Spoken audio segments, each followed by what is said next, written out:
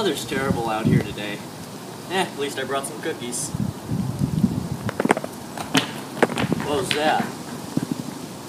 Probably just a big bird looking for some food.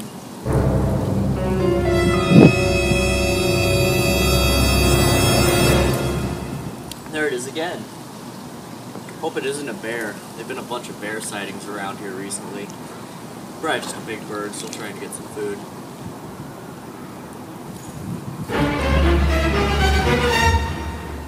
Oh my god, a werewolf!